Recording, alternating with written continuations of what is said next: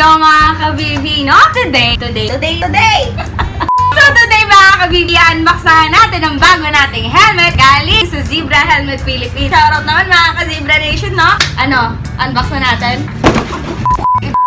So, ito na guys. Bago nating Zebra Helmet. Ano ba? Pasensya na kung nasira na yung karton. Ang dami nung kukulo sa akin! Ayun na nga, mga kabibi. Bago ang lahat, gusto ko muna magpasalamat sa Zebra Helmet. Binigyan ako ng oportunidad para maging parte ng Zebra Helmet Philippines, no? Shoutout mga ka-Zebra Nation muna sa inyo. So, ayun na mga kabibi. Ito na siya. Na hindi makita. Anong model to? YMC623. So, ang naman niya, smoke lens. Tsaka, itong helmet. Ito na. Tara! So, color white siya mga kabibi para bagay sa kahit anong motor. Yan. Ayan siya. So, ito yung tsura ng loob niya. Ayan. So, meron din siyang... Sorry sa kukuha. Ano ba tawag sa ano yung ventilation dito sa harap? Tapos, meron din siya dito. Ayan. Ano ba tawag yun? Yung mga ano? Mga ventilation, ventilation. Sinemerot. Nalimutan ko na.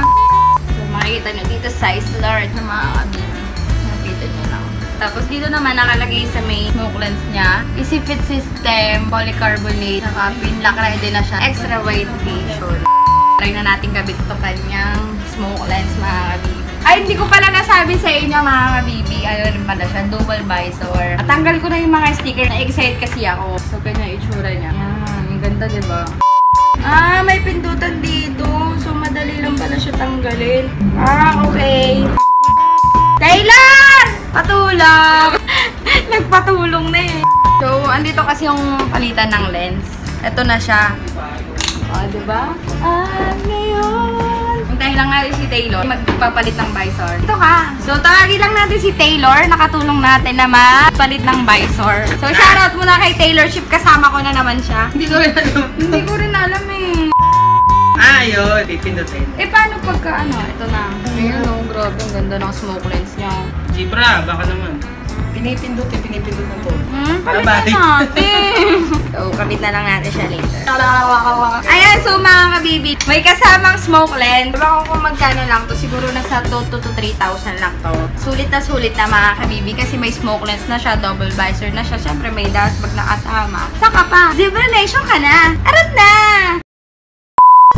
Kabibi, bali, andito kasi si Motor Kada sa shop. Papa-ECU tuning siya mga kabibi. Pag zero throttle, i-pull mo agad. I-pull ko agad, hindi daan Hindi, i-pull mo na agad. Actually, tapos nasa siya mag-ECU tuning. May diretso. Hindi mo kailangan bike. Pag pull mo, dire-diretso. So, bali, bago na yung... Ginagawa nun. So, ayun yung dati niyang click na kulay orange. Tapos ngayon, nag-luta. Naging white na siya, mga kabibi. Kaya ng stop, kailangan mo laro-laroin. Oo, okay, di ba? Kunyari, eh, tapos pagka nasa gitna na, nasa 80 na, angat konti, tapos bigaw ulit, bigaw ulit. So, dito ngayon si Motor Kada. Nagpapa-ECU tuning dito sa 01 Moto. So, ano ginagawa mo? Actually, hindi siya ECU tuning. Nilagay sa atin ni Zero One Moto is ECU controller. So, kinokontrol niya yung ECU niya, uh, ECU, tsaka yung motorcycle to the maximum potential na kaya niyang ilabas. So, sabi sa sabi kanina, kanina sa akin ni Boss Art, na may limitation daw yung mga motor kasi bago lumabas daw yun sa kasa or may mga standards daw kasi siya, yung ano lang standard niya, eh, yun lang yung kaya niyang ilabas. So, since meron si Boss Arch dito na ECU controller or V-Link controller na tinatawag, ilalabas niya yung sobrang power ng motor mo. Yung kung ano yung pinakakaya ng hangin po full force niya. Ipupull niya pa. So, bali, Di ba dapat high RPM siya? Tapos matagal siya mag-down. Ngayon, Oo nga, no? Hindi, tsaka may problema sa click kapag ka sobrang tagal ng, R- ng high RPM. Kailangan dapat ang regular RPM niya nasa 3 seconds baba na. Oo. Pagka tumagal ng 5, may problema. Nagre-response yung TPS. so, ayun yung ginamit na pag-tuning mga kabibi. So, ito lang tatalo kay Motodex. Naging puti niyang ano, mas lumakas na mga kabibi, no? So, punta na rin kayo mga kami dito sa 01 Moto para magpa-ECU remap. Ano bang tawag dun? Ano? Pulang ba? Ano? Violet? Ano si Violet? Oo, oh, sige rin naman siya. Iba-iba nagpalibok na eh. Ang pangalan mo ngayon si Violet. Violeta. Violeta. so, pag color pink naman, si Pinkish. Pinkish! Lahat ng ano pala, sabi din ni Kada kanina, lahat ng FI na motor pwede nang magpa-remap. Alam tayo Boss Romel, tuning o remap? ECU. ECU remap. Ah, yun. ECU remap. So, meron na yan. Available na yan dito Zero One Model. So, mga kabit, Una sa lahat, bago tayo ulit magsalita, gusto ko munang magpasalamat sa motoklase para sa aking suot na jersey. So, ayun naman. Bakit nga ba? Si Brenda. Sobrang seryoso. Kabibi, bakit nga ba zebra helmet? Una sa lahat, ang zebra helmet actually, same lang to ng other leading helmet brands dito sa Pilipinas. Pagdating feature, sa safety, sa durability, totoo di ba? So mga kabibi, ano nga ba ang pinagkaiba ng zebra helmet sa other leading brands dito sa Pilipinas? Itong zebra helmet, swak na swak sa budget. Ba, kalimot, kalimot, kalimot. So, ayun na nga, balik tayo. Actually, guys, ang zebra helmet, ito ang pinakamurang full face helmet dito sa Pilipinas. At the same time, guys, andun pa rin yung safety features na hinahanap nyo sa isang helmet. Ah, machine, show siya. Sin nyaw, nyaw, nyaw, nyaw, nyaw. Ganon. Actually guys, itong zebra helmet. Magti 10 years na sila. Magsa-celebrate na sila ng kasampung taon na serbisyo sa mga motorista. Zebra helmet ang isa sa pinakamatagal, pinakamatandang helmet brand dito sa Pilipinas. Basta guys, magti 10 years na sila. And last, bago na ngayon ang zebra helmet. So, bago na ang kanya body lining, bago na ang mga design, bago na ang visor niya, mas magaan na siya, mas magaan, mas magaan pa sa bigat na nararamdaman mo ngayon. So daw, so ayun guys, guys na, ayoko ng kabibi. Isa tayong motovlogger, syempre kailangan natin kapitan ang helmet natin ng chin mount. So ano man chin mount meron tayo? Syempre meron tayong GRX chin mount mula sa 01 Moto. 01 number 1. 01 lang ang tunay, 01 lang ang malakas. so ayun na, tawagin na natin ang host natin. Charot co-host daw. Si Taylor, palakpakan naman kayo. Taylor, bakit ang itim mo yan? Layo ng Meron tayo dito ang GRX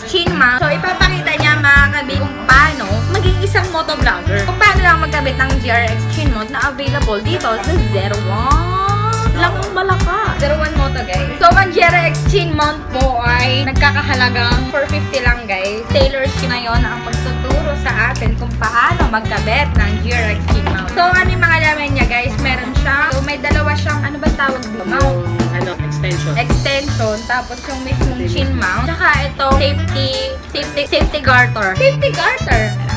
Ayan. So, yun, tinanggal niya na yung 3 eh. So, dito natin lalagay ah. Sa top. So, kailangan mo pa ba ng, ng lighter? Kina kinakailangan to. So, Dadaanan niya lang ang init oh, bakit dinadaanan ng init? para ma-activate yung adhesive niya.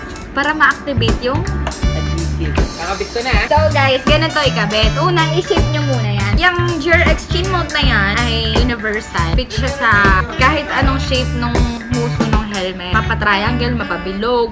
Lapit natin sa camera para pumuti naman siya. Wow! Pumuti na!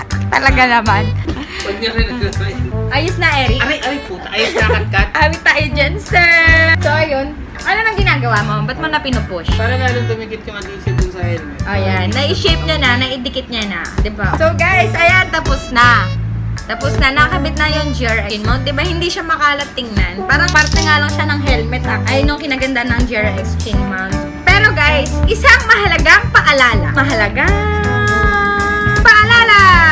Bawal mo na gamitin ang GRX chin mount pagkakabit nyo. Bakit? Kasi hindi pa nga masyadong nakadikit or natutuyo or na-adapt nung ting dun sa adhesive. Tapos pag pinagtingin mo yung ting tsaka yung adhesive, hindi niya pa talaga actually madidikit. Parang kailangan pa matuyo ng adhesive dun sa ting.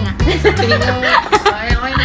Hintayin na lang natin until tomorrow para makabitan natin ang camera. Kaya sa mga nagtataka, bakit daw natatanggalan ka na ng GRX chin mount? Sino ba naman kasi ang magkakabit ng mabigat na bagay dun sa bagong kabit na glue? Nag-guess nyo ba yun? Ayan. So mga kabibi, ready na tayo mag-vlog tomorrow! Camera na lang kulang. Baka naman. so yun na, tama na nga itong kalokohang to. So, ay, so mamaya guys, magsha-shoutout tayo yung mga nagpalista o yung mga nag-comment sa aking Facebook page guys. Nag-post ako doon, mga gusto magpa-what's out. So mamaya i-what's out natin yan. See you later! Ayan, so mga kabibi, bago matapos tong video na ito, gusto ko munang i-shoutout ng mga solid ka-VV natin. Shoutout kay Pure Energy Moto Vlog. Ayan, ka-solid na 01, ano yun, 01 squad yan eh. Kay Windel, cover ko yan. Kay Senorita Makmak, pinsan ko yan sa Ecija. Si Meljo, ah, cover ko din yan dito sa shop. So, yung mga solid ka-VV natin, shoutout kay Rowie Mendoza, Kenji Valenzuela, Junie Motovlog, Dean Michael, o Michael, Maris Paalala, Tyron De... De... Detronio, Guersola, Angel Sally. Ayan mga kabibi. Sa mga gusto magpa-shoutout mga kabibi, comment na kayo sa video na ito. Maraming maraming salamat